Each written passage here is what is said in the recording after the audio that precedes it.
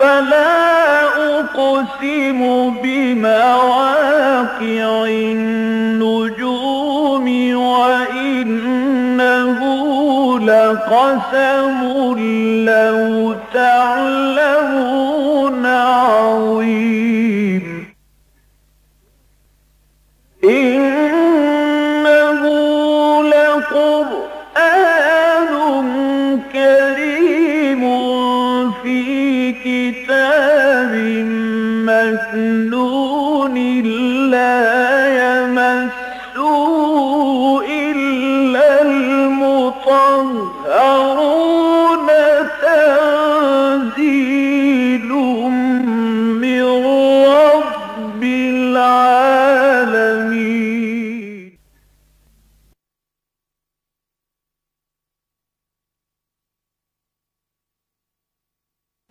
नहमदहू वनसली अला रसूल करीम अम्मा बाद फ़कत काल अल्लाह तबारक व ताली कमा वरद फ़ी सूरत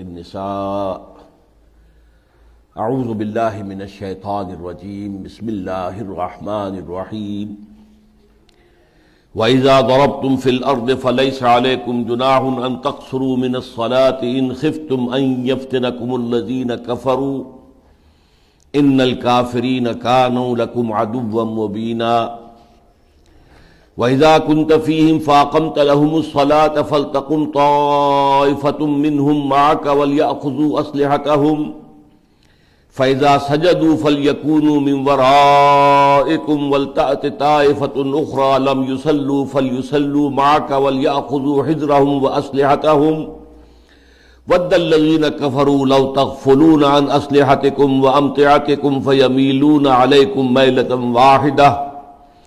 वला जुनाह अलैकुम इन बिकुम अज़म मिन मतरिन औ कुंतुम मर्ज़ा अन तदऊ असलिहतकुम व खुज़ू हिज़रकुम। इन्नल्लाह अअद्द लिल काफिरीन अज़ाबम मुहीना। फ़ैज़ा क़ज़यतुमुस्सलात फ़ज़्कुरुल्लाह क़ियामन व क़ुऊदन व अला जुनूबिकुम।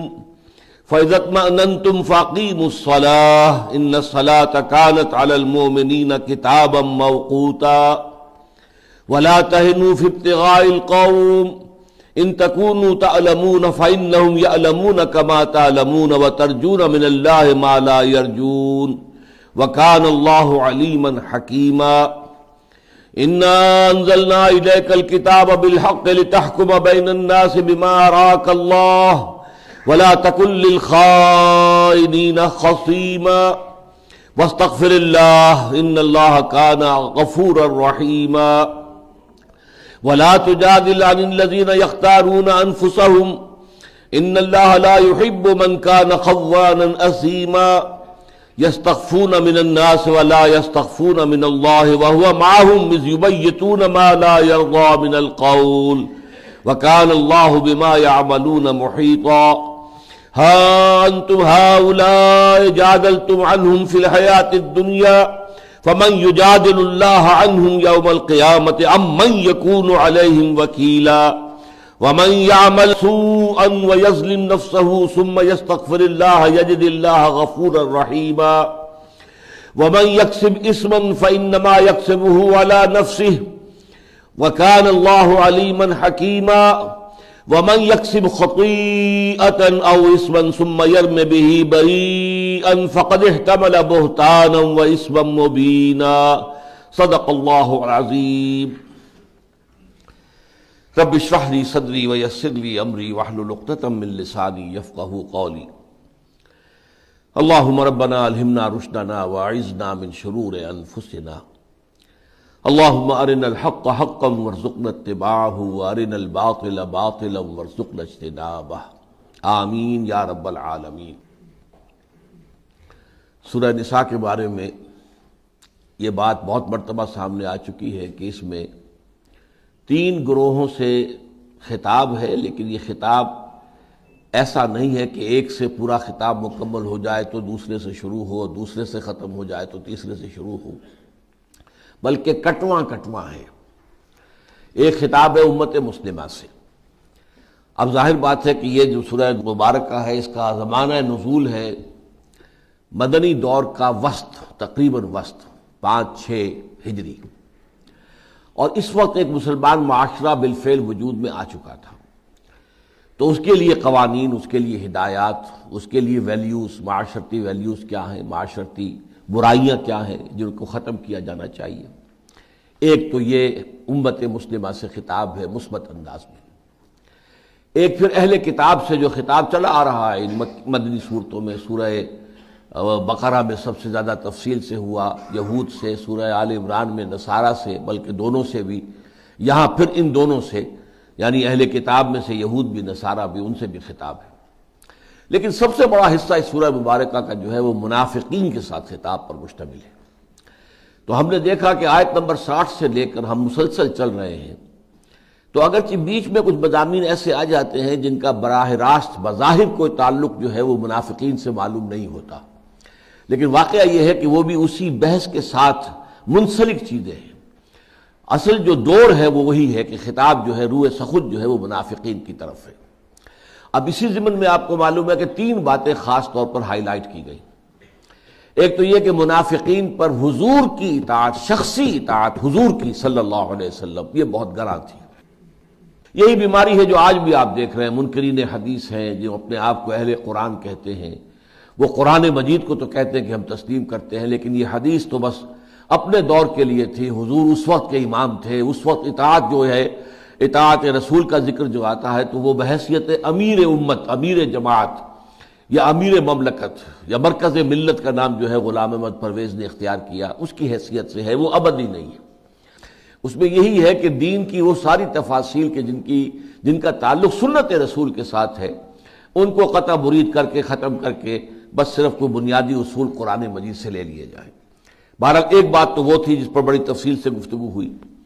फिर दूसरी चीज़ जो उन पर बहुत भारी थी, वो किताल फ़ी सबील्ला जान हाथ हथेली पर रखकर निकल आना। उस पर गुफ्तु हुई। फिर हिजरत अल्लाह के रास्ते घर बार छोड़ देना आयजा वकारिब को छोड़ देना, अपने आबा व अजदाद की सरजमीन को खैर बात कहना और चले आना। और ज़ाहिर बात है कि यह भी बहुत ही शाख गुजरने वाली शय थी उन लोगों पर जिनमें या तो ये कि शुरू में ईमान कमज़ोर था और होते होते फिर वो कमज़ोर ईमान से पसपाई इख्तियार करते करते वो मुनाफिकम के दर्जे में आ गए थे। फिर यही हिजरत और कताल फ़ी सबील्ला के मिले जुले मजामी जो हैं वो पिछले चंद दरसों से हमारे सामने आ रहे हैं। अब इसी जिमन में कुछ हिदायत हैं। फरमाया वज़ा दरब फिल अर्द फलैसाकुम जुनाहन तकसर मिनसलाह ए मुसलमानों, जब तुम ज़मीन में सफ़र पर निकलो तो तुम पर कोई गुनाह नहीं है, कोई तुम पर गिरफ्त नहीं होगी। अगर तुम कम कर लो नमाज़ में, कमी कर लो, कसर कर लो। इन खिफ्तुम यफ्तना कुबुल लजीन कफरो। अगर तुम्हें यह अंदेशा हो कि तुमको फितने में मुबतला कर देंगे काफिर लोग, यानी यह कि अगर नमाज़ पूरी पढ़ी जा रही है अहतमाम से पढ़ी जा रही है तो दुश्मनों को मौका मिल जाएगा कि वो आकर हमला आवर हो और तुम्हें शदीद नुकसान पहुंचाएँ। तो इस हालत में तुम्हारे लिए इजाज़त है कि तुम चाहो, तुम्हारे लिए ये कि तुम नमाज़ कम कर दो। इन काफरीन कानू लकुम अदूब मुबीना यकीन काफिर तो तुम्हारे खुले दुश्मन है ही वो तो घात में है। जो भी मौका उन्हें मिल जाएगा, उससे उन्होंने फ़ायदा उठाना है। यह आयत मुबारक इस एतबार से बहुत अहम है कि कसर फिसलात का हुक्म कुरान मजीद में सिर्फ़ इसी आयत में आया लेकिन चूँकि ज़ाहिर अल्फाज के एतबार से इसके अंदर इजाफी शर्त है, एक तो सफ़र और दूसरी ये कि अगर खौफ हो। लिहाजा जो भी असहाब ज़ाहिर हैं, जिन्होंने वही बात जो मैं कह रहा था कि हम तो सिर्फ़ कुरान ही को थामेंगे, हमें रसूल की सुन्नत से कोई सरोकार नहीं है, वो तो वक्ती चीज़ थी। उनका मामला ये हुआ है, असहाब ज़ाहिर हमारे यहाँ भी रहे, पहले भी रहे इब्न हजम जाहिरी, उनका नाम ही जो है उस फिरके का या उसके, उस मकतब फ़िक्र का जाहिरिया है। ज़ाहिर पर बात करने वाले, ज़ाहिर पर चलने वाले। और फिर खवारिज, जिन्होंने कहा था कि हमारे लिए तो बस कुरान काफ़ी है। तो उन सबके नज़दीक कसर जो है, वो नमाज़ में सिर्फ़ हालत खौफ में होगी। इसलिए कि यहाँ पर यह शर्त है। और दूसरे ये कि इजाज़त दी गई है तो इसमें कोई हुक्म नहीं दिया गया है। फलैसा अलैकुम जुनाहुन। कोई हर्ज नहीं है, तुम पर कोई गिरफ्त नहीं होगी, कोई मलामत नहीं होगी, तुम्हें पर कोई गुनाह नहीं आएगा। अगर तुम कमी कर लो नमाज़ में, कसर कहते कम करना। कसूर, आपकी तरफ़ से जो कमी रह गई हो, तकसीर इसी से बना है। तकसीर की मैं अपनी अब तकसीर की माफ़ी चाहता हूँ, मुझसे जो कमी रह गई है मैं उसकी माफ़ी चाहता हूँ। कसर। तो ये जो लफ्ज़ है, कसर, काफ और सीन के साथ आएगा, तब भी किसी चीज़ की कमी होना है। कसर है, कसर और इनके साथ। तो ये यूँ समझिए कि हमत लुगा जो है जबान की जो हमत है कि अल्फाज करीब करीब के जो होते हैं खसर खे, सीन, रे, ये भी, और खास स्वाद, रा, खसर, ये भी जो है, ये तमाम की तमाम इख्तसार कम करना, मुख्तसर कर देना।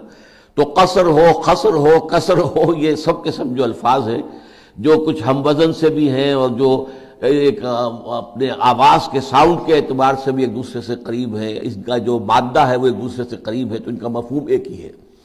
तो अनतकसरू मिन सलाह, इन खिफ तुम यफ्तना कुमलजीन कफरू। अगर तुम्हें यह अंदेशा हो कि तुम्हें फितने में डाल देंगे, तुम्हें मुसीबत में मुबतला कर देंगे काफिर इन काफरीन कानू लकुम अदुब मुबीना। और ये तो बात वाज है कि काफिर तो तुम्हारे खुले दुश्मन है, हर वक्त घात में है, मौका देखते हैं। तो जैसा कि मैंने अर्ज़ किया कि इसमें जाहिरिया, इबन हजम जाहिरी और खवारिज के नज़दीक कसर जो है नमाज़ में, वो सिर्फ़ हालत खौफ में है। आम सफ़र में कसर नहीं है। लेकिन यह कि सुन्नत रसूल सल्लल्लाहु अलैहि वसल्लम से साबित है कि आपने हर सफ़र में कसर किया है, चाहे कोई खौफ हो, चाहे ना हो, चाहे हालत जंग हो, चाहे नॉर्मल हो। चुनाचे हज़रत उमर रज़ी अल्लाह तु ने इस मामले में अपना एक शुबा पेश किया था हुजूर के सामने सल्लल्लाहु अलैहि वसल्लम के कुरान मजीद में तो।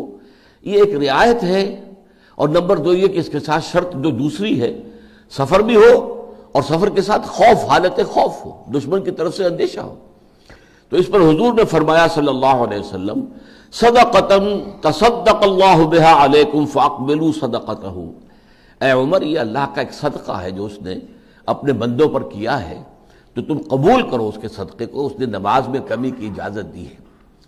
बाकी रह गया यह कि, फ़ला जुदाह अलैकुम अन तकसरू। ये कुरान मजीद के ख़ास उसलूबों में से है, शाहाना अंदाज कलाम, कोई हरज नहीं अगर तुम ये कर लिया करो।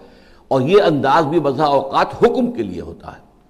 जैसे कि सूरह बकर में आया है इन सफ़ा वन मरवता बिन शायर फमन हज्जल बैता वे तबरा, फला जुनाह ये जो सफ़ा और मरवा की पहाड़ियाँ हैं, ये भी अल्लाह ताला के शायर में से हैं। तुम में से जो कोई भी अल्लाह के घर का हज करे या उम्र अदा करे तो कोई हर्ज नहीं है कि वो तवाफ कर लिया करे। अब यहाँ पर भी कोई हर्ज नहीं है कि अल्फाज कहे लेकिन ये वाजिब है। ये यूँ समझिए कि जो वाजिबात है, जो भी हज के मनासिक हैं और जो उम्र के वाजिबात, उनमें शामिल है। तो ये कुरान मजीद का एक शाहाना अंदाज है अल्लाह ताला। जैसे कि लाल्ला के बारे में मैंने कहा कि जैसे बादशाह किसी से कहे, हम तुम्हें फला मुहिम पर भेज रहे हैं, फला जर्नैल को। और अगर तुम कामयाब आए तो शायद कि हम तुम्हें फला सूबे की गवर्नर दे दें। अब यहाँ पर शायद जो है, ये हकीकी वादे के तौर पर होता है। अगर तुम कामयाब हुए तो शाहना अंदाज कलाम में ये शायद जो है, ये सिर्फ़ एहतमाल के मानी में नहीं होता, बल्कि यकीनी वादे के मानी में होता। तो ये अंदाज कलाम है कुरान का। फैजा जरब तुम फिल अर्द अब जब तुम ज़मीन में निकलो फलैस अलैकुम जुनाहुन तो कोई हरज नहीं है तुम पर, कोई गुनाह नहीं है। अन तखसर सलाह, के तुम कम कर दो नमाज़ को, कसर करो नमाज़ में। इन खिफ्तुम यफ्तनकुमजीन कफरू, अगर तुम्हें अंदेशा हो कि तुम वो दुश्मन जो है वो फितने में मुबला कर देंगे। इन काफरीन कान लकुम अदू व मुबीना यकीन काफिर तो तुम्हारे खुले दुश्मन है। इस ज़िमन में हज़रत इबन अब्बास रज़ी अल्लाह तहों का भी, अनहुमा का भी एक असर है। कि उन्होंने फरमाया कि हजूर ने सल्लल्लाहु अलैहि मदीने से मक्के तक का सफ़र किया। और इसमें कोई खौफ नहीं था उस सफ़र में सिवाय अल्लाह के खौफ के। यानी कामिल अमन था, कोई जंग, कोई किसी तरफ़ से खदशा नहीं था। फरमाया इन नबी खरज मिनल मदीनत इला मक्का था ला यखाफो इल्ला रब्बल आलमी अल्लाह के सिवा किसी और का कोई खौफ नहीं था। फसल्ला रकातैन। तो आपने तो दो ही रकतें पढ़ी है, वो जो असर की हो, मगर असर जो है और जोहर हो, इशा हो, दो रकतें पढ़ी। तो कसर जो है दर हकीकत, ये समझ लीजिए कि ये कुरान मजीद की रूह से, जो कुरान मजीद का हुक्म है, उसके ज़ाहिर पर अगर जाएँगे तो ये सफ़र जमा खौफ, दो शराइ के साथ मशरूत हो जाएगा। सुन्नत रसूल को इसके साथ शामिल करेंगे तो हर सफ़र के अंदर आपको इजाज़त है। बाकी अब इसकी तफासिल है। अहनाफ के नज़दीक ये जो है कसर, ये वाजिब है। यानी, अगर आपने कसर नहीं किया तो गोया कि आपकी नमाज़ नहीं हुई। आपने असर की चार रकतें पढ़ ली है तो आपकी नमाज़ नहीं हुई। लौटाइए और दो रकतें पढ़िए। बास के नज़दीक, जैसे कि इमाम शाफी रहमत है ये वाजिब नहीं है। अलबत् न करना मकरू है कि अल्लाह ताला की तरफ़ से एक रियायत है और आप उस रियायत से फ़ायदा नहीं उठाना चाह रहे इसमें गोया कि एक तरह का तकबर सा है। अपनी अल्लाह की शान में के सामने जो है गुस्ताखी का सा अंदाज मकरू है। लेकिन वाजिब नहीं है। अगर आपने पूरी नमाज़ पढ़ ली तो नमाज़ अदा हो जाए। अब ये फ़िकी इख्तलाफात हैं जो चलते हैं। फिर ये कि कसर कैसे होगी? ज़ाहिर बात है कि सिर्फ़ चार रकतों वाली नमाज़ में कसर है। दो दो रकतें आप कर लेंगे। मगरब की नमाज़ में कसर की कोई शक्ल नहीं है, तीन रकतें रहेगी। फजर की है ही दो, वो दो की दो रहेंगी। फिर इसके साथ ये मसला ये उठता है कि आया, सिर्फ़ फ़राइज के अंदर ये कसर होगा या ये सुनन और नवाफिल वगैरह जो हैं वो भी अब इसमें भी बहुत सी राय हैं। बास के नज़दीक जो है, जब फ़र्ज़ ही के अंदर कसर हो गया तो फिर सुन्नत और नफल जो है, वो तो ज़ाहिर बात है कि उससे बहुत कमतर दर्जे की चीज़ें हैं। उनमें आज खुद हो जाएगा, वो गोया के साकित हो जाती हैं, उनकी ज़रूरत ही नहीं। बास के नज़दीक ये है कि नहीं, अगर मौका है, अगर तो ऐन हालत सफ़र में है, आप जा रहे हैं तो ठीक है, आप ना पढ़ें, लेकिन ये कि अगर कहीं जाकर क्याम हो गया, रात को पड़ाव डाल लिया है, अब ईशा की नमाज़ आप पढ़ रहे हैं, अब आपको यहाँ पर वो सफ़र की जो होती है, वो कैफियत जो है बेतमानी की वो नहीं है। आपने यहाँ पे पड़ाव डाला है, आपने खेमा लगा लिया है यहाँ तो आप नमाज़ जो है, उसके अंदर आप सुनत नफल पढ़ लें। तो ये मुख्तलिफ़ आ रहा है कि जो फ़िकी इख्तलाफात हैं। फिर कितने सफ़र पर कसर होगा? तो अक्सर व बेशतर यह है कि अड़तालीस मील या बाज़ हजरात के नज़दीक छप्पन मील। और बाज़ हजरात कहते हैं कि मुतलकन जिस पर सफ़र का इतलाक हो सके, सफ़र की कैफियत तारी हो जाए इंसान पर। कोई हद मुन नहीं है। लेकिन ये सारी जैसा कि मैंने आपको बताया, ये है फ़िकी तफसीलात, और हमारा ये दर्स जो है, दरस कुरान है, दरस फ़िका नहीं है। अलबत् ये बात वाज हो जानी चाहिए कि हमारे नज़दीक, हमारे दीन की बुनियादों में जैसे कुरान है, वैसे ही सुन्नत है। Independent source of Shariah. Quran is independent source of Shariah, as well as सुन्ना इज़ इंडिपेंडेंट सोर्स ऑफ़ शरिया। ये ये ज़रूर है कि जो सुन्नत है हजूर सल्लल्लाहु अलैहि वसल्लम की वो कुरान के किसी हुक्म को साकित नहीं कर सकती, उसकी नफी नहीं कर सकती, उसके अंदर बुनियादी रद्दोबदल नहीं कर सकती, लेकिन सुन्नत क्या कर सकती है? नंबर एक, कुरान पर इजाफा कर सकती है। मसलन, हमने पढ़ा इसी सूरह मुबारक में कि तुम्हारे लिए जायज़ नहीं है कि दो बहनों को तुम एक एक ही वक्त में अपने निकाह में रखो। अंतजमाऊ बैन उख्तैन, दो बहनों को तुम एक वक्त अपने निकाह में रखो यह हराम। हुजूर ने इसकी तोसी कर दी। यही हुक्म जो है, खाला भांजी का भी होगा और यही हुक्म फुप्पी भतीजी का भी होगा। तो ये एक उस इजाफा है, उसकी तोसी है। हुक्म के अंदर कोई तब्दीली नहीं कहीं ऐसा होता है कि कुरान ने किसी चीज़ को आम बयान किया है, उसे सुन्नत खास कर देती है। जैसे जिना का जो हुक्म है, सौ कोड़े, ये कुरान ने आम बयान किया है। लेकिन सुन्नत रसूल सल्लल्लाहु अलैहि वसल्लम ने उसको खास कर दिया कि ये गैर शादीशुदा जानी और जानिया की सजा है। शादीशुदा जानी और जानिया जो है उसके सजा रजम है। तो कुरान पर इजाफा हो सकता है, कुरान के खास को आम किया जा सकता है, कुरान के आम को खास किया जा सकता है। यह तो सुन्नत रसूल का हक है, लेकिन सुन्नत जो है वो कहीं कुरान मजीद की किसी शय की मुतलक नफी नहीं कर सकती। तो यहाँ पर भी जैसा कि मैंने कहा कि एक इजाफा है कि अल्लाह ताला की तरफ़ से यह हदिया है तुम्हारे लिए, ये तोहफा है, सदका है, इसको कबूल करो खुश दिली के साथ। तो इसमें यह है कि वो कसर करना चाहिए। अलबत् ये कि बाकी तफासिल जैसा कि मैंने अर्ज़ किया, उसकी मुख्तलिफ़ शक्लें हो सकती हैं। तो मुख्तलिफ़ शक्लों का मामला जो है, वो फिर फ़ुकहा के आपस के इस्तेमादात जो है, उनके मुख्तलिफ़ जो उसूल हैं, तरीके हैं, उसके पर मबनी है। वह इज़ा कुन तफ़ीम और नबी, जब आप उनमें मौजूद हों, देखिए कि सफ़र में ख़ास तौर पर जबकि खौफ, अब इस हालत खौफ की नमाज़ का जो है, वो बयान हो रहा है। हालत खौफ में यह भी हो सकता है कि बिल्कुल जमात जो है सिरे से साकित हो जाए, नमाज़ साकित हो जाए। जैसे कि गजब खंदक में हुआ है, नमाजें कई खजा हुई है। अगर इस दर्जे है मार्का बरपा है, घमसान की, का जो है कोई मामला है बहुत ही क्रिटिकल टाइम है तो ज़ाहिर बात है नमाज़ मौखर हो सकती। लेकिन यह कि अगर इससे कमतर का मामला है तो जिससे बेहतर से बेहतर शक्ल में अदा की जा सकती हो नमाज़ अदा की जाए। इसलिए कि नमाज़ बहरहाल अल्लाह ताला की तरफ़ से फ़र्ज़ है और औकात के तयन के साथ फ़र्ज़ है। फजर अपने वक्त पर फ़र्ज़ है, जोहर अपने वक्त में फ़र्ज़ है, असर अपने वक्त में फ़र्ज़ है, मगरब अपने वक्त में फ़र्ज़ है ईशा अपने वक्त में फ़र्ज़ है। किताब मौकूता भी आ जाएगा आगे कि ये तो जो किताब अल्लाह ताला की तरफ़ से जो लिखा हुआ फैसला है नमाज़ के बारे में, ये वक्त के साथ मुंसलिक है। लेकिन नमाज़ में हर जगह सूरत मुख्तलिफ़ हो सकती है, ऐसा है हालत खौफ है, सफ़र भी कर रहे हैं और सवारियों पर जाए सवारियों पर नमाज़ पढ़ ली जाए। और जो है आप जिस तरीके से भी कर सकते हो, अलहदा अलहदा पढ़ ले। लेकिन एक खास सूरत हाल ऐसी हो सकती है कि अगरचे जंग है, हालत जंग है, लेकिन यह कि मुसलमानों का जत्था भी एक जगह पर मौजूद है मौजूद है, एक जमात है, एक ग्रोह है, और फिर हुजूर भी उसमें मौजूद है। अब ज़ाहिर बात है कि हुजूर मौजूद है तो इमामत कोई और तो नहीं कर सकता। इमामत हुजूर कराएँगे। और कोई भी मुसलमान इसको पसंद नहीं करेगा कि वो हुजूर की इमामत को छोड़कर किसी और की इमामत में नमाज़ अदा करे। इस पेचीदगी का हल है जो इस आयत में दिया गया है। वजाकुन तफीम अरे नबी, जब आप उनमें मौजूद हों, फाकमता लहमसलाह और आप उनके लिए नमाज़ कायम करें फल तकुम ताफ़तुम मिनहुम मा का तो चाहिए कि उनमें से एक ग्रोह आपके साथ खड़ा हो जाए वलिया खुदू असलहता हूँ लेकिन इस हाल में भी वो अपना असलाह साथ रखें। फैजा सजदू, जब वो नमाज़ पढ़ लें फल यकूनू में वरायकुम तो चाहिए कि वो फिर पीछे चले जाएँ। वलतात तायफत उखरा, और अब दूसरा ग्रोह आ जाए। लम युसल्लू, जिन्होंने अभी नमाज़ नहीं पढ़ी, फल युसल्लू माँ का अब वो नमाज़ पढ़े आपके साथ। वल या खुदू हिजर हूँ व असलहत हूँ और चाहिए कि वो अपने बचाव का सामान और अपना असलाह साथ रखें। वद्दल लजीन कफर तकफलून असलहत कुम वामतियात कुम फमीलून आरे कुम वाहिदा। और यकीन काफिर तो ये चाहते हैं कि कोई ऐसी शक्ल हो कि तुम अपने साजो सामान और अपने असलाह से गाफिल हो जाओ, फिर वो तुम पर यकबारगी टूट पड़े। अब यह कैफियत क्या है? इसकी मुख्तलिफ़ शक्लें आई हैं। लेकिन जो सबसे ज़्यादा मौजूद समझ में आती है बात वो क्या है? कि दो रकत नमाज़ पढ़नी है, हुजूर ने भी, हुजूर भी कसर कर रहे हैं और सहाबा भी कसर कर रहे हैं।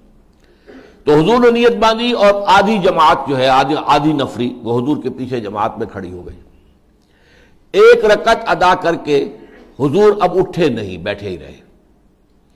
लेकिन यह कि दूसरे बाकी जो पीछे हैं, उन सबने खड़े होकर एक रकत और अदा कर भी सलाम फिर और चले गए। हुजूर अभी उसी हालत नमाज़ के अंदर है, तशरीफ़ फरमा है। अब जब वो पहला ग्रोह चला गया, उसकी दो रकतें हो गई, एक हजूर के पीछे और एक उसने इंडिपेंडेंटली अपने तौर पर पढ़ी है। अब बकिया फौज आएगी, बकिया लोग आ जाएँगे, वो अब उनकी जगह लेंगे। अब हुजूर दूसरी रकत पढ़ेंगे। तो गोया कि अब इनको एक रकत हुजूर के साथ मिल गई। और उसके बाद हुजूर जो है एक रकत पढ़ने के बाद सलाम फेर देंगे। आपकी दो रकतें मुकम्मल हो गई। और पीछे जो जमात है वो एक रकत अपने तौर पर अदा करके दो रकतें पूरी कर लेगी। इसकी शक्लें कुछ और भी बयान की गई हैं। बाद लोगों ने कहा कि हुजूर चार रकतें पढ़े। और सहाबा जो है पीछे, वो दो दो रकतें पढ़े, लेकिन इस सूरत में फिर यह है कि वो कसर का हुक्म जो है तो फिर वो हुजूर का उस पर अमल नहीं होगा।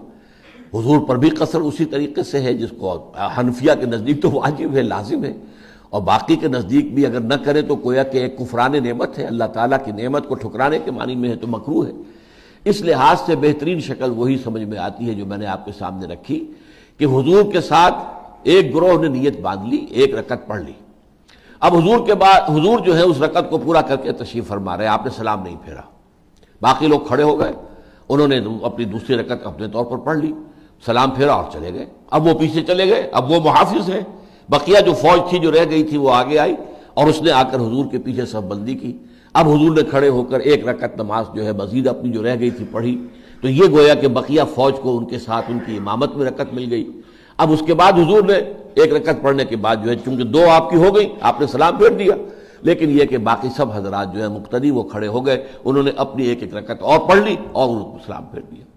तो ये मालूम, अब लेकिन इसमें जो ज़ोर दिया जा रहा है कि वो अपना असलाह साथ रखे। इसलिए कि हालात बहुत ही, यूँ समझिए कि एक एमरजेंसी के हालात थे, बहुत, किसी वक्त भी कोई सूरत हाल पेश आ सकती थी। अब ज़ाहिर बात है कि अगर हमला हो जाता है नमाज़ में तो नमाज़ तो आपको तोड़ देनी पड़ेगी। अगरचे वो नमाज़ तोड़ी हुई तस्वुर नहीं की जाती। वो गोया कि नमाज़ ही के अंदर आपका पूरा अमल होगा जो आप कर रहे हैं। जैसे उससे फारिग हो, फिर नमाज़ पूरी करें। लेकिन यह है कि ज़ाहिर बात है कि उस सूरत में आप दौड़ेंगे अपना असलाह लेने के लिए, इतनी देर में तो बहुत काफ़ी जो है आपका नुकसान हो चुका होगा। तो असलाह साथ रखें।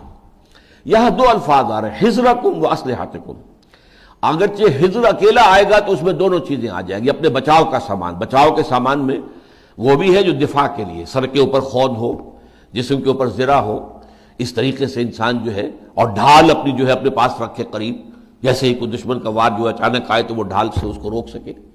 असलाह में तलवार है, नेज़ा है, वगैरह है, चीज़ें हैं, ये साथ रखें। अब ज़ाहिर बात है, नमाज़ के अंदर इन चीज़ों को साथ रखना जो है बहुत एक तकलीफ़ दे मामला है। आसान काम तो नहीं, लेकिन ये किस ज़ोर दिया गया है। फलतकुम तायफतुम मिनहुम माँ का वलिया खुलू असले आता हूँ उन्हें चाहिए कि अपना असलाह अपने साथ रखें। फैजा सजदू, अब यहाँ पर देखिए, रकत के लिए सजदे का लफ्ज आया। इसलिए कि नमाज़ की जो आखिरी जो शक्ल है, जो यूँ समझिए कि जिसमें क्लाइमेक्स कहते हैं हम, आखिरी इस मानी में, वो सजदा है। इसलिए हदीस में आता है अकरबा मा यकून अब्दुल्ला है इला रब ही फिर सजूद। करीब तरीन जो बंदा अपने रब से होता है, वो सजदे की हालत में होता है। इसलिए कि हमारे और रब के दरमियान हाइल हमारी अनानियत है। हमारा नफ्स, हमारी नफसानियत, मेरी अना, मैं। और इस वक्त जब आदमी सजदे में होता है, जिसके लिए आया है कि यूँ समझा करो कि गोया कि तुमने अपने रब के कदमों में सर रख दिया है। तो गोया कि अब अनानियत जो है, उसकी नफी मुतलक हो गई। तो ये गोया कि कुर्ब, इसीलिए आप देखते हैं कि जो पहली पाँच आयात जो नाजिल हुई थी, वो पूरी सूरह मुबारक जो है तो उसके जमन में जो आखिरी है, फसजुद, वक्तरिब, सजदा करो और करीब हो जाओ। अब ये आयत मैंने चूँकि आपको सुना दी है, आपको जाकर एक सजदा अदा करना होगा, इसलिए ये आयत सजदा है। तो सजदा करो और करीब हो जाओ। लिहाजा करीब होने के लिए कुरान मजीद में भी हदीस में भी, इन अकबा यकून अब्द ही फिर सजूद। करीब तरीन जो इंसान होता है, अपने रब से वो सजदे की हालत में होता है। तो यहाँ नमाज़ को सजदे से ताबीर किया गया। हालाँकि उसमें क्याम भी होगा, रुकू भी होगा, सजदे भी दो होंगे। फैजा सजदू फल यकून मिमराय कुम जब वो नमाज़ पढ़ चुके तो फिर वो हो जाए पीछे तुम्हारे, यानी हिफाजत के लिए। वलतात रायफतुल उखरा, अब दूसरा ग्रोह आ जाए। लम युसल्लू, जिन्होंने अभी नमाज़ नहीं पढ़ी थी फल युसल्लू आप चाहिए कि वो आपके साथ नमाज़ पढ़े। वल या खुजू हिजर हूँ असले आता हूँ और चाहिए कि वो भी अपनी हिफाजत का सामान भी और इसलाह भी साथ रखें। वद्दल लजीन कफर तक फलून असलहत कुम अमतियात कुम और ये काफिर तो चाहते हैं, ख्वाहिशमंद है। कि तुम गाफिल हो जाओ अपने सामान से और अपने असलाह से। फयमीलून अलैकुम मैलतम वाहिदा। तो फिर वो तुम पर टूट पड़े यकबारगी, अचानक पूरे के पूरे जोश के साथ। वला जुनाकुम इनकाना बिकुम अजम बिन मतरिन। लेकिन कोई हर्ज नहीं है तुम पर। अगर कोई तकलीफ़ दे सूरत हाल हो बारिश की वजह से, औ कुन तुम मरवा या कोई ऐसा बीमार हो गया है जिसे बुखार भी है, वो ये सारा वज़न अपने साथ उठाकर सजदा रुकू नहीं कर सकता है। अन तोदाऊ असले हतकुम तो इसमें कोई हर्ज नहीं है, वही जुनाह अलैकुम, एक इजाज़त दी जा रही है कि तुम असलाह तो रख दो। यानी जो जारहाना असलाह है, तलवार है, नेजा है, कमान है, तीर है, उनको तो रख दो। वह खुजू हिज्र रखो अब यहाँ पे चूँकि अलहदा कर दिया गया, असलाह और हिज्र तो हिज्र कहेंगे, हिज्र कहते हैं बचने वाली शय। काबिल हजर है ये मामला तो हिज्र जो है वो शय है जो तुम्हें बचाए। सर पर खौद है, जिसम के ऊपर जो है, सीने के ऊपर। आपने जरा पहनी हुई है और आपके पास ढाल है। ये चीज़ें जो है सामान रखना ज़रूरी है। इन अल्लाह आदली काफरीन अजाब मोहिना। अल्लाह ताला ने काफिरों के लिए बहुत ही एहानत आमेज, बहुत ही तोहन आमेज अजाब जो है वो तैयार कर रखा है। फैजा कदे तुम सलात क्याम वाला जुनूब फिर तुम जब नमाज़ इस तरीके से तुमने अदा कर ली तो अब यह नहीं है कि तुम ज़िक्र से फारिग हो गए। अब तो ज़िक्र करो। खड़े हुए, बैठे हुए और लेटे हुए, रात को अगर लेटने का मौका मिल गया तब भी अल्लाह का ज़िक्र करते हुए तुम्हारी आँख लगे और अल्लाह के ज़िक्र के साथ आँख खुल जाए। अल्हम्दुलिल्लाह बादमा मातनी वाशूर आँख खुले तो अल्लाह के ज़िक्र के साथ हो। अल्लाह बिस्म का मुँह तो वाहिया है, अल्लाह तेरे ही नाम के साथ में मरता भी हूँ, ज़िंदा भी होता हूँ। तो ये सारी चीज़ें जो है, इनमें ज़िक्र, खड़े, बैठे, लेटे, हर हाल में अल्लाह को याद रखना, जिसको अब कहा जाता है ज़िक्र कसीर वस्कुल्लाह ज़िक्र कसीर तुफलहून। जो सूरह जुमा में आया है, फैज़ा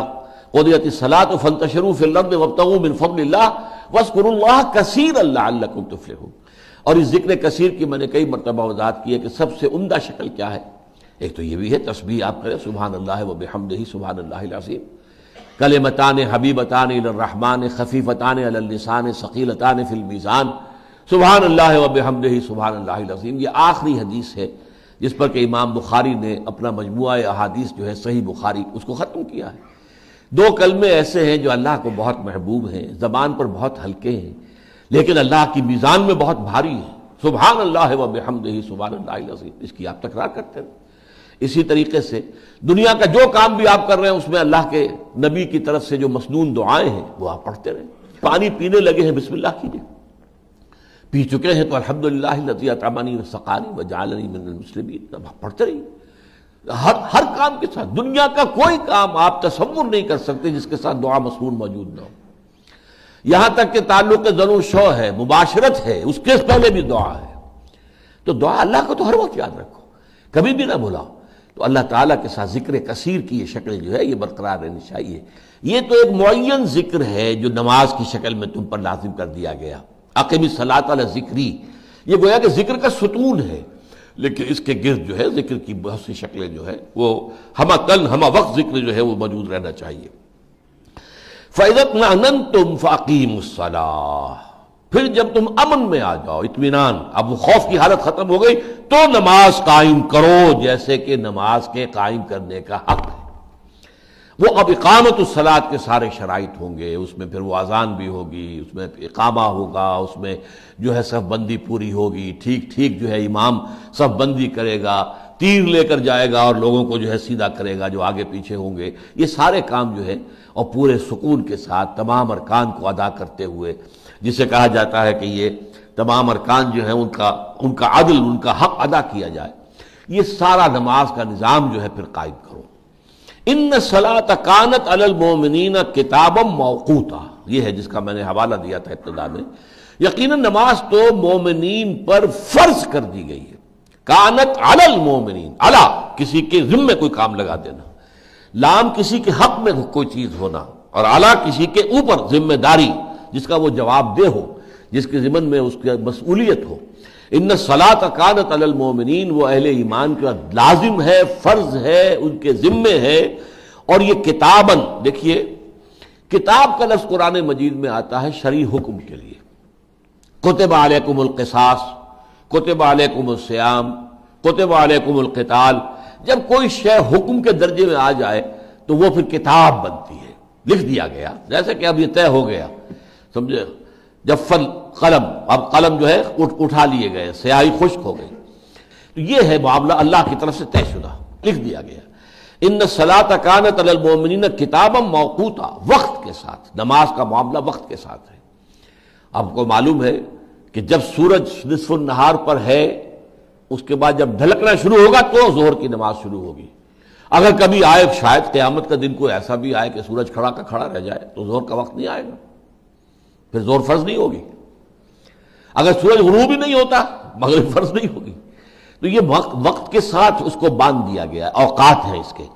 अगरचे इन औकात का तयन आपको मालूम है, कुरान मजीद में नहीं है। क्या करेंगे? नमाज़ अकीम सलाह जो है, सिर्फ़ नमाज़ का निज़ाम कायम करना भी बरबिनाए कुरान मुमकिन नहीं है।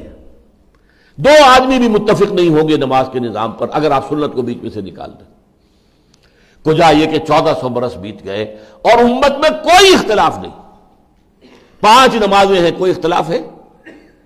फजर की दो रकतें हैं, मगरब की तीन है, कोई इख्तलाफ है? हर रकत में पहले क्याम है, और करात है, और फिर रुकू है, फिर खड़ा होना है, फिर सजदा है, फिर बैठना है, फिर सजदा है, फिर उठना कोई इख्तलाफ है? नब्बे पिचानवे फ़ीसद नमाज़ जो है, वो मुतफकुल अले पूरी उम्मत में। और ये सारा असल में फैज है, फैजान है। ये एहसान है सुन्नत रसूल का सल्लल्लाहु अलैहि वसल्लम। सल्लू कमा रहे तुम उन्हीं उसली फ़र्क क्या पड़ता है? किसी ने हाथ यहाँ बाँध लिए, किसी ने यहाँ बाँध लिए, किसी क्या फ़र्क पड़ा? मैं कहा करता हूँ, ड्रिल जो है, ड्रिल, नमाज़ की ड्रिल, उसमें कोई रखना नहीं पड़ता। कोई यहाँ हाथ बांधे खड़ा, कोई हाथ बांधे खड़ा खड़ा है ना, सब खड़े बराबर खड़े किसी ने कह दिया, आमीन बिलजार तो क्या फ़र्क पड़ गया? किसी ने रुकू में जाते हुए जो है, वो फिर रफा दैन कर लिया, क्या फ़र्क पड़ा? वो ड्रिल जो है, परेड जो है नमाज़ की, उसमें कहीं रखना वाकई नहीं होता। इसका सबसे पहला तासुर मुझे यूँ समझिए कि आज से चालीस बयालीस साल कबल जो है, पहले हज के मौके पर सन बासठ में हुआ हैरान मंजर देखा मैंने कि हर तरह का मुसलमान मौजूद है यहाँ। काले मौजूद हैं, हबशी मौजूद हैं जर्द मुँह मौजूद हैं, जावा सुमाट्रा के लोग मौजूद हैं, और यूरोप के लोग मौजूद हैं, अरब के लोग मौजूद हैं, हिंदी हैं, सब सब लेकिन यहाँ पे और मसलक हलफी मालकी, शाफी, हम्बली, जाफरी, शिया, ये लेकिन नमाज़ का जो है, वो टूटता ही नहीं निज़ाम। अगर किसी किसी मसलक में यह होता कि जैसे कि रुकू एक है, सजदा भी एक है तो ज़ाहिर बात है वो तो एक सजदा करके खड़ा हो जाता। और दूसरा जो है, वो सजदे में जाता कि दूसरा सजदा भी उसके नज़दीक है। तो टूट गई थी जमात। ये नादा गिर गए सजदे में जब वक्त कयाम आया। जो खड़े हो गए, वो तो यही कहेंगे ना, ये नादा गिर गए सजदे में जब वक्त कयाम आया। अब तो खड़े होने का वक्त हो गया था, ये कहाँ गिर गए सजदे के अंदर? किसी की राय होती कि रुकू भी दो है जैसे सजदे दो है, तब भी जमात टूट जाती। जमात नहीं टूटती। और वो सिर्फ़ ये फैजान है, ये एहसान है सुन्नत रसूल का सल्लल्लाहु अलैहि वसल्लम। फैजतमान तुम फाकीम सलात। इन सलात कानत अलमोमिन किताब मौकूता। वला तहनु फिफ्तगाइल कौम। और देखो है मुसलमानों, अपने दुश्मन का पीछा करने में कमज़ोरी मत दिखाओ, सुस्ती मत दिखाओ। ज़ाहिर बात है कि हालत जंग में कभी ऐसा होता है कि दुश्मन आपका पीछा कर रहा है, कभी आपको दुश्मन का पीछा करना होता है। लेकिन अब ज़ाहिर बात है कि आप दुश्मन के पीछे जा रहे हैं। हो सकता है कोई आदमी जरा सुस्त चले, पीछे रहे, ताकि मुठ भीड़ हो तो मैं बचा रहा हूँ या कोई और खौफ का इजहार करे। और वो ये मुनाफिकीन का मामला है, क्योंकि सारा जो है ये हमने आपको बताया कि डोरी जो है वो निफाक वाली है। वला तहनूफ इब्तगा कौम, इब्तगा की मानी तलाश करना। हासिल करने की कोशिश करना। यहाँ मुराद क्या है? पीछा करना। और बिल्कुल हिम्मत ना हारो, कमज़ोर ना पड़ो, सुस्ती ना दिखाओ अपने दुश्मनों का पीछा करने में। किस कदर प्यारे अल्फाज आ रहे हैं। इन तकून तालमून। अगर तुम्हें अलम पहुँचता है, अलम उर्दू में भी हम कहते हैं रंजो अलम। अगर तुम्हें कोई सदमा होता है, तुम्हारा कोई नुकसान होता है, तुम्हें कोई तकलीफ़ पहुँचती है फ़िन यालमून कमा तालमून। तो उन्हें भी तो नुकसान उठाने पड़ते हैं, जैसे कि तुम उठाते हो। क्या वो जाने नहीं दे रहे? वो अपने दीन बातिल के लिए जाने दे रहे हैं। वो अपने झूठे माबूदों के लिए जाने दे रहे हैं। तुम माबूद बढ़क के लिए जान देने को तैयार नहीं। और मुद्दई हो ईमान के। अगर तुम्हें तकलीफ़ पहुँच रही है तो उन्हें भी पहुँच रही है। तुम उनका पीछा कर रहे हो तो कभी वो तुम्हारा पीछा कर रहे होते हैं। वो भी जाने देते हैं। और जो काफिर है जो कातिल नफी सबली ताहूत वो भी तो किताल कर रहे हैं। मरते वो भी तो हैं आखिर। सत्तर जो है बदन में मारे गए थे कि नहीं मारे गए थे? और बड़े बड़े सरदार थे जो मारे गए थे। तो तुम जो है, कहाँ इस मामले के अंदर सुस्ती दिखा रहे हो? तुम ईमान के मुद्दई हो। वला तहनूफ इब्तगाइल कौम इन तकून तालमून फ़ैन यालमून कमा तालमून। व तरजून मिन माला यरजून। और तुम्हें तो अल्लाह से वो तो हैं जो उन्हें नहीं है। तुम आखिरत पर यकीन रखते हो, तुम अल्लाह पर यकीन रखते हो। तुम्हें यकीन है कि अल्लाह ताला जो है, जो उसकी राह में जान दे देगा, वो सीधा उसको जन्नत के अंदर दाखिल कर देगा। तुम जो कुछ तो रखते हो, वो झूठे महबूद जो है, और सिर्फ़ अपनी दुनिया के तहफात के लिए वो अपनी जाने दे रहे हैं, तकलीफें उठा रहे हैं, सख्तियाँ झेल रहे हैं, कुर्बानियाँ दे रहे हैं। तो तुम बाबूद बहक के लिए और दीन हक के लिए काम करने को तैयार नहीं। वह तर्जुन मिन माला अर्जुन वकान अल्लाह अलीमन हकीमा, और यकीन अल्लाह ताला अलीम है, हकीम है। सब कुछ जानने वाला है, कमाल हमत वाला है। इसके बाद जो ये दो रुकू आ रहे हैं, ये एक खास वाक्य इसके पस मंजर में है, पहले उसको सुन लीजिए तो फिर तर्जुमा काफ़ी हो जाएगा। मुसलमान माशरा जो था, मैं बता चुका हूँ, बड़ी पेचीदगी थी कि एक तरफ़ तो मदीने के अंदर मुनाफिक मौजूद थे जो आफा भी थे, मुनाफिक नहीं थे, लेकिन ईमान कमज़ोर था। ईमान कमज़ोर था तो कभी कबायली असमियत गालिब आ गई। कभी अपने घराने की कराबतदारी का ख्याल जो है आ गया, बजाय हक और अदलो इंसाफ के, हिमायत जो है अपने रिश्तेदार की। होता था, आखिर इंसान थे। उनके दिलों से ये सारी चीज़ें बिल्कुल खुरच कर तो नहीं निकाल दी गई थी। एक न्यूक्लियस था, एक इनर कोर था उन सहाबा का, कि जो तन, मन, धन सब कुछ निसार करने के लिए हर दम तैयार, हर दम तैयार, हर दम तैयार। लेकिन साथ ही जैसे कि मैंने कहा शेड्स जईफुल ईमान लोग भी थे फिर उससे आगे जो है मुनाफिक दर्जा अव्वल के मुनाफिक दर्जा दोम के मुनाफिक दर्जा सोम के भी मौजूद थे जिनके अंदर दुश्मनी थी अदावत थी। हुजूर की खासतौर पर मुसलमानों की आबिल फिर दूसरी तरफ़ बाहर जो है मुनाफिकी जो ईमान के दावेदार हैं और वो हिजरत करने को तैयार नहीं हिजरत नहीं कर रहे अगरचे उसकी इस्तेदाद रखते हैं इस्तकाबत अब वो गड़बड़ है कबीलों के अंदर है, है मुसलमान। क्या किया जाए? उनके साथ जंग हो रही है तो उनका कोई खास लिहाज रखा जाए? ये सारे अहकाम जो हम पढ़ते चले आ रहे हैं। जब तक कि ये कॉन्टेक्स्ट आपके सामने ना हो कि वो सूरत हाल क्या थी, किस किस्म की पेचीदगियाँ थी उस कबायली माशरे के अंदर। तो उसको आप समझ नहीं सकते इन चीज़ों को। इसलिए कि ये तो मेरे नज़दीक कुरान मजीद जो है, एक एतबार से आप कह सकते हैं, मैनुअल ऑफ़ मोहम्मदन रेवोल्यूशन सल्लल्लाहु अलैहि वसल्लम। हुजूर के इनकलाब का मैनुअल है, मैनुअल। तुम ये करो, फिर ये हो जाएगा, फिर ये करो, फिर ये करना। हर चीज़ के साथ आपको मैनुअल्स मिलते हैं। तो इसी तरीके से कुरान मजीद जो है मैनुअल ऑफ़ रेवोल्यूशन है, वो पूरे उन हालात के अंदर जैसे जैसे तब्दीलियाँ हो रही थी, वैसे वैसे अल्लाह की तरफ़ से हिदायत नाजिल हो रही हैं। अब हुआ क्या कि एक मुसलमान, क्या वो मुनाफिकी था? तामा नाम था या बशीर इबन उबैरक। बनु ज़फ़र एक घराना था। मैंने बारह आपको बताया, बारह, कि एक कबीला होता है, कबीले के अंदर घराने होते हैं। कुरैश एक कबीला था, बनु हाशिम, बनु मैया बनु अदी, बनु तीम बनु फला बनु फला, ये बनु जो थे। ये सब इसी तरीके से अंसार में कबीले तो दो ही थे, औस और खजरज। लेकिन घराने थे तो बनु ज़फ़र का एक जो घराना था, उसका एक फर्द तामा। उसने एक मुसलमान के घर में नकब लगाई, और मुख्तलिफ़ रिवायात में मुख्तलिफ़ है कि एक तो आटे का थैला भी था, और फिर दो ये कि उसमें ज़रा भी एक रखी हुई थी उसी थैले के अंदर। वो चुरा के नकब लगा के ले गया। और लेकिन उसके बाद उसने ये होशियारी की क्योंकि बाद रिवायात में ये भी आता है कि उस आटे के थैले में कुछ सुराख सा था, जिससे कि जैसे जैसे वो चलता जा रहा था, थोड़ा थोड़ा आटा गिरता जा रहा था। उसने कहा, ये तो मेरे घर पहुँच जाएँगे। खोजी जो है। तो फ़ौरन गया, उस आटे के थैले को ले जाकर एक यहूदी के पास अमानत रखवा दिया। आटा भी था उसमें। और वो भी ज़ाहिर बात है, उसने सारी जो है, उस आटे की जो गिरते हुए थे रात उन्होंने रास्ते की निशानदेही कर दी अब चोरी की तफ्तीश हुई। माल बरामद हो गया, यहूदी के यहाँ से खोजी, वहाँ पहुँच गए। यहूदी ने रात का ऐलान किया कि मेरे पास तो अमानत के तौर पर फला शख्स ये चीज़ रखवा गया था, मैंने कतन कोई चोरी नहीं की। अब इस पर वो तामा जो है, कस्में खा बैठा, मैंने तो नहीं की चोरी, यही है जिसके पास से माल बरामद हो रहा गवाही कोई है ही नहीं, गवाही कहाँ से आएगी? अब ज़ाहिर बात है, सारा सर्कमस्टांशियल एविडेंस पर मामला है। और सर्कमस्टांशियल एविडेंस जो है कि वो खोज जो है होते होते जो है वो उसके घर के, घर तक पहुँचा है यहूदी के। और यहूदी के यहाँ से वो माल जो है माल मसरू का बराबर हो गया।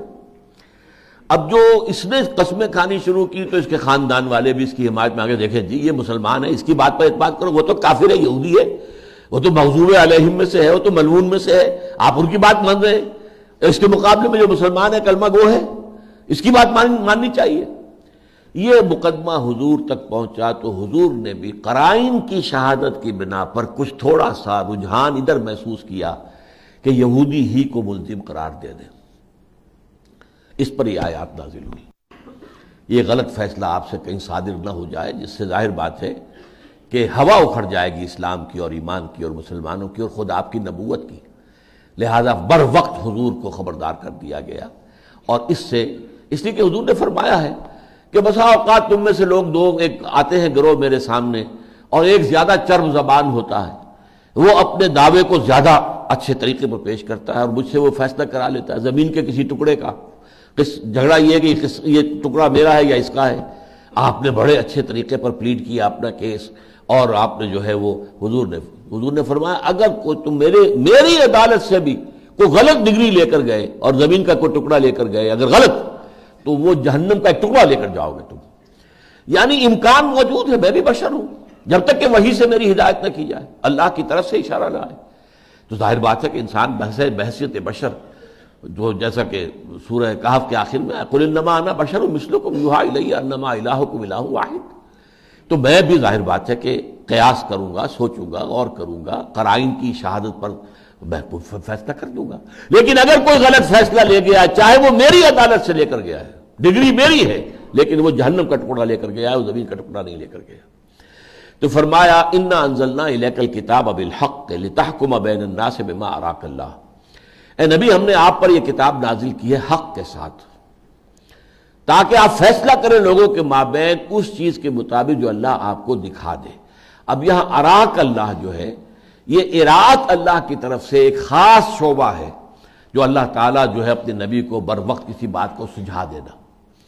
जैसे कि हज़रत यूसुफ के बारे में आता है वलकद हब्बत बही व हम्मा बेहा, लौला रा बुरहान रबी जब जुलेखा ने इकदाम किया है तो वो तो आगे बढ़ी थी, वो भी बढ़ता। अगर ना देख लेता अपने रब की एक बुरहान, अपने रब की अल्लाह ताला की एन वक्त पर कोई बुरहान आई है। और रिवायात में आता है कि दीवार पर उन्हें हज़रत याकूब अलैहिस्सलाम नज़र आए, जो अपने होठों के ऊपर उंगली रखे हुए थे। हरगिज नहीं, ये काम करने का नहीं है। तो ये देखकर हज़रत यूसुफ जो है, पीछे हट गए। तो अल्लाह ताला बर वक्त रहनुमाई करता है, बिमा अराक अल्लाह। अल्लाह ताला ने जो कुछ आपको दिखाया है, उसके मुताबिक आप फैसले करें। वला तकुल खायनीना खसीमा। और देखिए आप इन खयानत करने वालों के हक में झगड़ने वाले ना हो जाए। ये तो खाइन है, झूठ बोला है। इसने गलत हरकत की है, दूसरे के ऊपर इल्ज़ाम टिका रहा है। तो आप कहीं उसकी तरफ़ से अल्लाह ताला के यहाँ कहीं झगड़ा लेकर खड़े ना हो जाए, उसके वकील ना बन जाए कि खुदा न खास्ता। अब यहाँ बराह रास्त अगर खिताब हजूर से सल्लल्लाहु वसल्लम, या मुराद असल में, यहाँ रूए सखुन है उस मुजरिम के उन रिश्तेदारों की तरफ़। तुम्हें क्या हो गया? तुम इस खाइन शख्स के लिए, इस गलतकार शख्स के लिए जो है झगड़ा कर रहे हो, और उसके हक के अंदर आ गए मुजाहरा करने के ऊपर तैयार हो गए हो, खड़े हो गए हो उसकी हिमायत के अंदर। भला तकुन खाइन खसीमा वस्तफर फिर देखिए, यहाँ पे अगरचे सीगा वाहिद का है, बदाय खिताब हजूर से अल्लाह से माफ़ी तलब कीजिए। इन अल्लाह काना गफूर और रहीमा। अल्लाह ताला गफूर और रहीम है। लेकिन ज़ाहिर है यहाँ भी रूए सखुन। जैसे मैं कि हमारे घरेलू कहावतों में से है कि बेटी रे बेटी, तुझसे कहूँ और बहू री बहू तू कान रख। यानी बहू से खुद खिताब करके एक सास का कुछ कहना कि ये कर, ये मत करो, ये ना करो, बसा औकात जो है, वो बहू पर नागवार गुजरता है कि ये मेरे ऊपर अपनी जो है, हाकमियत जो है, वो ठूस रही है। लेकिन वही बात अगर बेटी से कहेंगे आप खिताब करके बेटी, देखो ये काम इस तरह नहीं होना चाहिए इस तरह करना चाहिए। तो बहुरी बहू, तू कान रख, तू सुन, सुना मैं तुझे रही हूँ। अगर ये बजाहिर मैं खिताब जो है, वो बेटी से कर रही। हूँ तो ये कुरान में बहुत जगहों पर है कि खिताब बजाहिर हजूर से, असल में रूए सकुन जो है वो उन दूसरे लोगों की तरफ़ है कि जो उसकी हिमायत के अंदर खड़े हो गए थे। वला तो जादिल अनिल यख्तारून अनफुसाऊं और बद झगड़ो उन लोगों के हक में, उनकी जानब से, कि जो अपने जानों से खयानत कर रहे हैं। उन्होंने खयानत की है, चोरी की है। और उसके बाद जो है अब तुम भी उनकी तरफ़ से मुजादला कहते हैं झगड़ा करने को। जी नहीं जी यूँ नहीं है जी ये जी देखिए ये मुसलमान है जी। देखिए ये तो कलमा गो है ये तो फला वक्त में इसने ये नेक काम भी किया था। आप इसकी बात मानिए। ज़ाहिर बात है कि और कोई अनी शाहिद तो है नहीं कोई और गवाह है नहीं। या सरकमस्टांशल एविडेंस है और या फिर लोगों के बयान हैं। तो ये सारा जो तुम झगड़ा कर रहे हो उस, उसकी तरफ़ से वला तुजालिजीन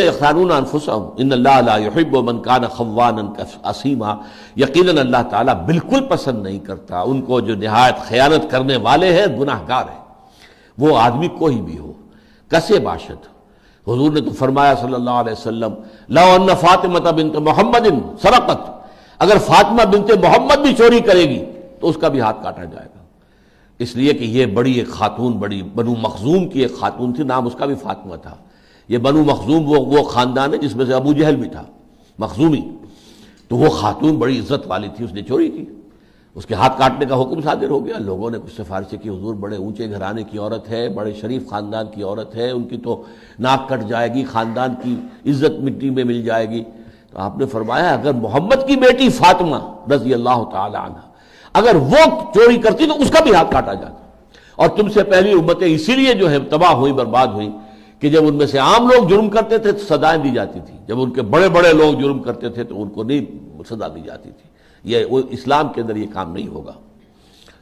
इन अल्लाहब मन कान खवान नसीमा यस्तफून मिनन्नास ये लोग शर्माते हैं, डरते हैं, बचते हैं लोगों से। वला यस्तफून अल्लाह अल्लाह से ना खाइफ है। ईमान हो तो अल्लाह का खौफ होना। झूठ बोल रहा है। अल्लाह का तो खौफ नहीं है उसे, ईमान नहीं है। अल्लाह का क्या खौफ? वो लोगों से बचते हैं, लोगों से डरते हैं, कस्में खा खा के अपने सदाकत का यकीन दिला रहे हैं। वला यस्तफून मिन अल्लाह वह हुआ माहूम इस युबैतून माला यरदा मिनल कौल। और वो तो उनके साथ होता है। जबकि वो रातें बिताते हैं, ऐसी बातें करते हुए जो अल्लाह को पसंद नहीं है। इनकी सरगोशियाँ होती है। देखो जी, इस तरह करो, इस तरह जत्थाबंदी करो। जाके वहाँ पर सबके सब लोग एक वक्त खड़े हो जाओ और हजूर के सामने खड़े होकर जो है इसका केस को प्लीट करो। ये रातों के मशवरे जो है, अल्लाह जानता है, अल्लाह इनके साथ था। अल्लाह देख रहा था, अल्लाह सुन रहा था ये क्या कर रहे हैं। वह हुआ मालूम युबैय तुम्हें बात आई अभी तो रात गुजारना। बैयता युबैय तो ये बाब तफील हो गया। यानी घड़ी गिन गिन कर। कि अब कल पेशी होनी है हजूर की खिदमत में तो ज़रा किस तरीके से तुम ये कहना, तुम ये कहना, तुम्हारी तरफ़ से यूँ बात आए, इस तरह से आए। इस युबैतून माला यरदा बिन कौल, जो अल्लाह को राज़ी नहीं है किस बात पर। वकाल अल्लाह बिमा या यामलून मुहीता, और जो कुछ ये कर रहे हैं, अल्लाह उसका अहाता किए हुए कोई अमल भी उसकी गिरफ्त से, उसके इल्म से बाहर नहीं है। हाँ तुम हा जादल तुम अनू फिलयात दुनिया। देखो, ये तुम लोग वो हो जिन्होंने उनकी तरफ़ से, मुनाफिकीन की तरफ़ से दुनिया की ज़िंदगी में मुजादला किया, झगड़ा किया, उनकी हिमायत की, उनका साथ दिया, उनकी मदद की। फमई युजादिल्लाहम क़यामा क़यामत। के दिन कौन झगड़ेगा उनकी तरफ़ से? एक दिन असल तो वो आना है, फैसले का दिन तो वो होगा। तुम अपने अज़ीज़ की, अपने रिश्तेदार की, अपने खुनमे वाले की, अपने खानदान वाले की, अपने कबीले वाले की हिमायत में खड़े हो गए। और एक झूठे शख्स का साथ दे रहे हो। सोचो गौर करो। ज़ाहिर बात है कि ये चीज़ उनसे छुपी नहीं रह सकती। उसके घर वालों से छुपी नहीं रह सकती कि कौन असल मुजरिम कौन है। उसके खानदान वालों से छुपी नहीं हो सकती कि चोरी असल में किसने की है। लेकिन इसके बावजूद तुम खड़े हो गए हो। हाँ तुम ये, ये तुम लोग वो हो। हा उला वो लोग जादल तुम अन हूँ फिलहायात दुनिया। दुनिया की ज़िंदगी में तो तुम उनकी तरफ़ से झगड़ा कर रहे हो, उनकी हिमायत में, उनकी पुष्पनाही में। फमन युजादिल्लाह तो क़यामत के दिन अल्लाह से कौन झगड़ेगा उनकी तरफ़ से? अब मन यकून वालहिम वकीला। और कौन होगा कि जो अल्लाह के मुकाबले में इनका जिम्मेदार बनकर खड़ा हो जाए? वकील, कारसाज, हवालेदार, कौन होगा जो अल्लाह के सामने खड़ा हो जाए? वह यामल सून और यजलिम नफसहू। और जो कोई भी बुरा काम करता है वह यामल सून बुरा काम, गुनाह करता है, और यजलिम नफसहू, या अपने ऊपर जुल्म ढाता है। सुम्मा यस्तफिर फिर वो अल्लाह से इस्तफार करे। यजिल्ला गफूर रहीमा तो वो पाएगा कि अल्लाह ताला तो गफूर और रहीम है, बख्शने वाला, रहम करने वाला है। यहाँ तो इस कदम, तोबा का दरवाज़ा खुला है, मैंने एक मरतबा पूरा दर्श इसी मौजू पर दिया था यहाँ।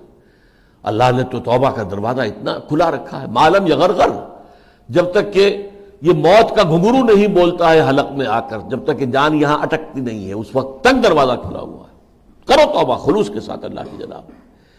और यह कि कुल्लो बनु आदम ख़त्ताउन व खैर ख़त्ताइन तवाबून। तमाम इंसान जो है बनु आदम, वो इंतहाई खताकार है।